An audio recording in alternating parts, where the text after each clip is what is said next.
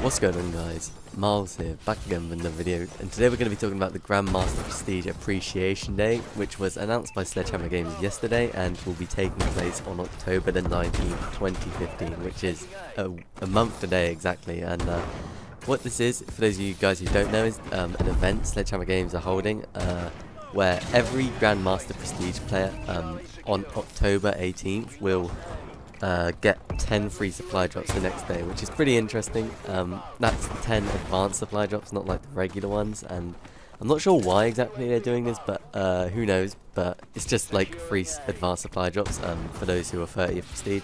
Unfortunately, I'm only 7th prestige, so I'm not going to make it because I have 30 days to get like uh, 23 prestiges, and I don't think that's happening, so I'm going to miss out unfortunately, but um, for those of you guys who are Grandmaster Prestige, you're going to be getting 10 advanced supply drops, which is the equivalent to like £15, maybe $20 maybe, um, which is pretty awesome. I mean, it's free advanced supply drops, and this is especially good for those Grandmaster Prestige players who don't buy, don't buy supply drops, because previously you'd have no way of getting them, but now you'll be able to uh, hopefully get like new weapons like the STG, the SVO, the AK, M16, etc.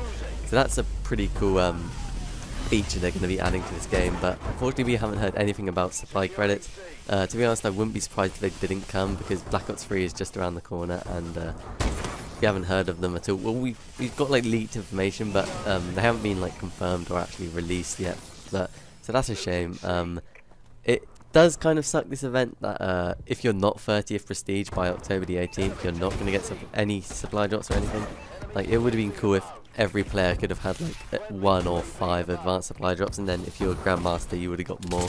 Um, but I guess it's just Sledgehammer, Sledgehammer's way of saying thanks to those players who have like grinded it out to 30th prestige, which I was nowhere near. But um, yeah, let me know what you guys think of Grandmaster Prestige Appreciation Day in the comments below. Um, I'm sure to read them and stuff. Uh, I think it's pretty cool.